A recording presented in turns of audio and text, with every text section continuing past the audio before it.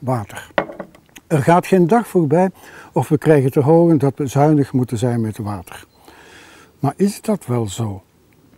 Ik heb een artikel geschreven met een opinie die anders is dan wat je telkens hoort. En ik heb het ingestuurd aan verschillende kranten, de Standaard, de Morgen, de Tijd. Maar ze hebben het niet opgenomen, misschien omdat het een andere opinie is. De tekst is de volgende.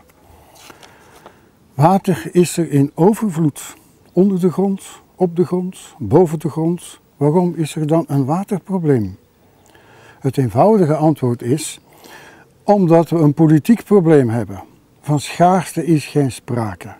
Wel van onmacht of onwil om te doen wat gedaan moet worden. Het verschil tussen het gebruik van water en het gebruik van andere grondstoffen, zoals aardolie, is dat water bij het gebruik niet verbruikt wordt. Geen druppel gaat verloren.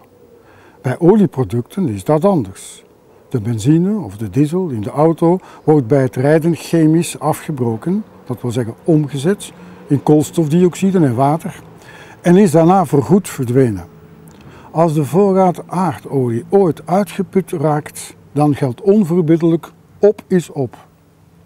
Met water, dat we in de landbouw, de industrie en het huishouden voor duizend en één doelen gebruiken, is dat niet het geval. Water wordt chemisch niet aangetast tenzij soms bij elektrolytische ontbinding, maar zelfs dan zet het gevormde waterstof zich nadien toch terug om in water. Water wordt alleen verplaatst en vermengd met andere stoffen. Na het gebruik hebben we vuil water, maar geen druppel minder. Het water moet dan gezuiverd worden en eventueel verplaatst, want niet, niet altijd bevindt het zich daar waar we het willen gebruiken. Water zuiveren en transporteren is technisch meestal helemaal niet moeilijk, maar het vergt energie. Vooral water zuiveren slorpt veel energie op. Driekwart van het aardoppervlak is bedekt met een gemiddeld 4 kilometer dikke laag water. Hoe is het dan mogelijk dat we spreken over een tekort aan water? België grenst aan de zee. We moeten het water maar opscheppen, zoveel als we willen. Jawel, maar zeewater is zoutwater en daarom voor de meeste toepassingen ongeschikt. Dat is zo natuurlijk, maar niets is eenvoudiger dan water ontzilten.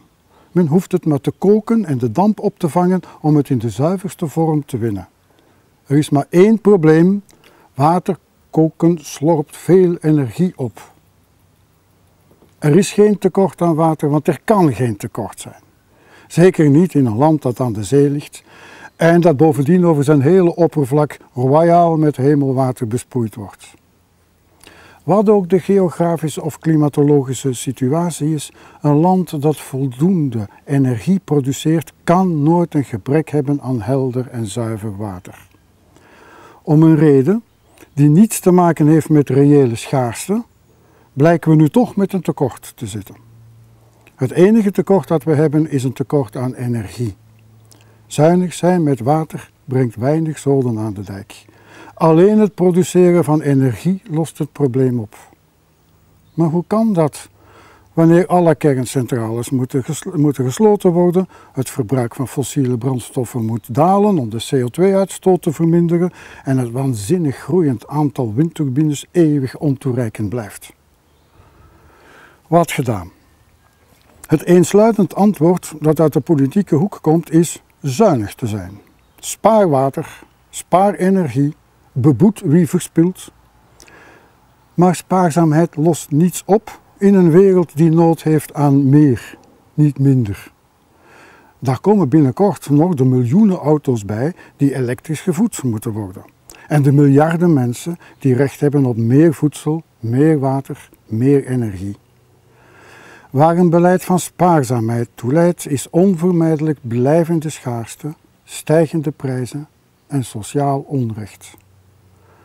Wat we nodig hebben is niet besparing van energie, maar productie van energie.